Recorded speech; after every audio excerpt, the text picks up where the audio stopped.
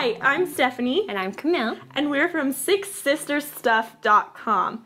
Today we are making one of our family's very favorite recipes, our mom's famous chocolate marshmallow brownies. I love that you said famous, because that's really kind of what she's famous for, like throughout our neighborhood. And now on the blog, yes. Um, it's definitely one of our most popular recipes. And it's also in our cookbook, so you know it's gonna be good. But it's so easy to make. And as with all our recipes, we're all about easy, easy and fast and simple. So to start out, um, you need one cup of butter or margarine, whatever you have on hand. It just needs to be softened. And then dump in two cups of sugar. That much sugar, you know that these are gonna be good. So you wanna just cream together your butter and your sugar until it kind of starts to get all incorporated. And then you can add in your cocoa and start to make it the yummy chocolate goodness that it is. So we'll get this all mixed in. You can smell it. It smells so good. People from all over our neighborhood will try and bribe our mom to make these to make these brownies for them. They are it's definitely a big birthday request like Every when it's year. people's birthdays. well, and growing up too, we didn't get to eat these very much. Whenever mom made them, they were for somebody else, for someone's birthday, or just to take them over to a friend, or, and it was always for somebody else. So. So it was a special treat yeah. when we got them. Okay, so once you get it all mixed in and your butter and sugar and cocoa are all together, you add in four eggs. And then you want to make sure that these are very mixed. mixed in. You can do this with an electric mixer too, but um, or just simplicity with using your hand. You definitely want the eggs to be all mixed so nobody gets a big bite of scrambled a eggs. Yolk.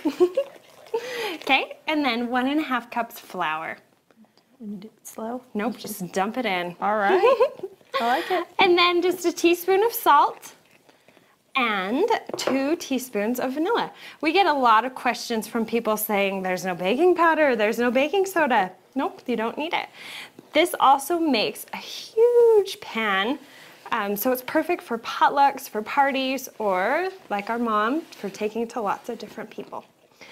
So then once you get the batter all mixed in, you want to spray your baking sheet. Um, it's just a big cookie sheet, a 10 by 15 by 1 inch.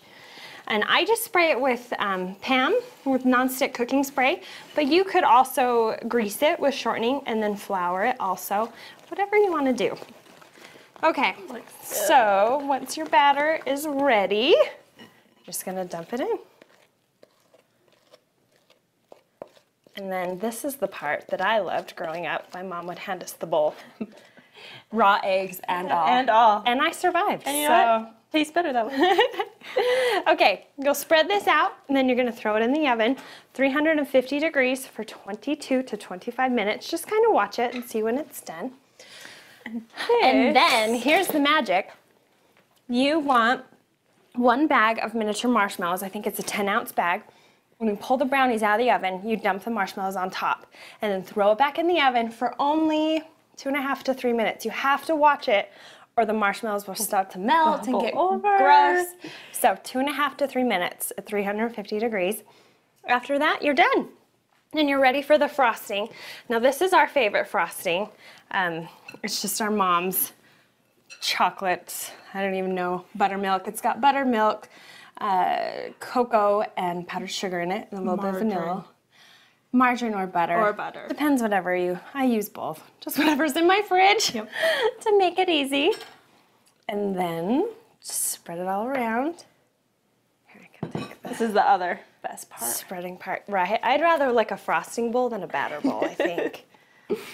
and you just want to make sure you get it all the way to the edges. Some people like the, the edges. Thankfully, these ones don't have too crusty of edges like some brownies.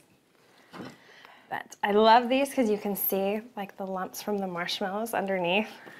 It's just such you know they're gonna be good. Gooey and delicious. Yep.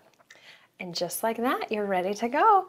Um, when we make these with our family, now that we're older and we make them for ourselves, we don't even cut them in squares. We just pick at it out of the pan. So Yep. very rarely do we cut our own, but we'll just cut one to show you what it looks like. You can see the sticky marshmallows.